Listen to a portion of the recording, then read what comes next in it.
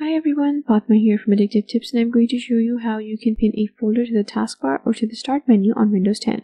Now for this you should also have an icon ready that you can use to differentiate a folder from other folders that you might have pinned to the start menu or to the taskbar. Go to the desktop and right click an empty area. From the context menu select new shortcut. In the location field, enter this address that you see on your screen and make sure you replace complete path to folder with the complete path to the folder that you'd like to pin. Click next and then change the name of the shortcut to that of the folder that it is a shortcut for. Click finish and you're going to see that the shortcut right now has the usual folder icon.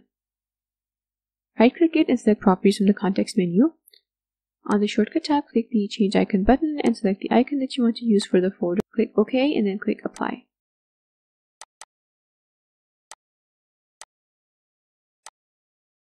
So now that the icon for the shortcut has been updated, you can pin it.